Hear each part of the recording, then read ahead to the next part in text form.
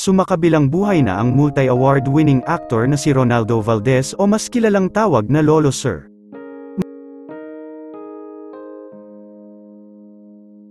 Madaming nagluluksa sa pangyayari sa industriya ng telebisyon. Isa na sa nagpaabot ng pakikiramay ang mga kapwa-artista nito. Nagpaabot na rin ng pakikiramay ang isa sa naka-love team nito na si Vilma Santos. Aniya ni Ate V, Our condolences and prayers you will be missed. Rest in peace my friend. Bagamat nilinaw ni Jano Gibbs ang magiging huling movie sana ng kanyang ama kasama siya na ipapalabas sana ngayong 2024 bago ito mag-retired na sa showbiz. Ang mga Gibbs ang nag-direct sa movie kasama siya at ang kanyang ama. Ngunit malungkot nitong ibinahagi na hindi na mangyayari ang lahat ng ito. Sa pagpanaw ni Lolo Sir, madaming nagtatanong kung ano ang ikinamatay ng veteran actor.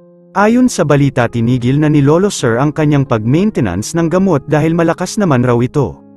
Hindi na lang raw nagising ng hapon ang aktor sa pagkatulog ngunit naisugod pa sa hospital ang veteran actor ngunit dito na binawian ng kanyang buhay.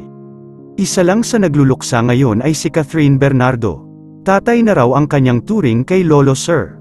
Nakasama ni Catherine si Ronaldo Valdez sa palabas na Too Good to be True.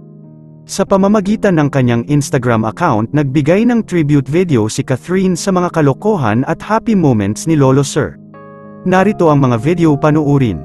Huling-huli po mga kaibigan. Huling-huli. Naubos na po. nasa dining ka kasi More than lumabas half na po. Mhm. Yes po, yes po. So, beach and ano. Kayong dalawa lang po muna sa tinabi. Ah, si-share pa. Eh, ubusin din naman. okay, okay. Sharing.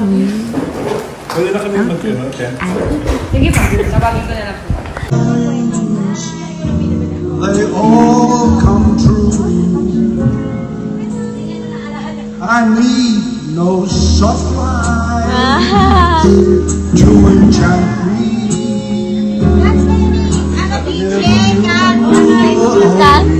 me.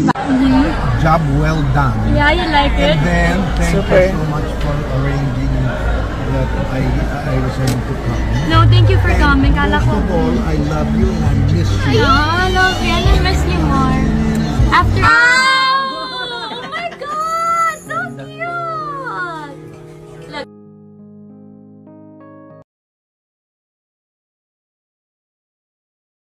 Madaming nalungkot sa pagkawala ng veteran actor.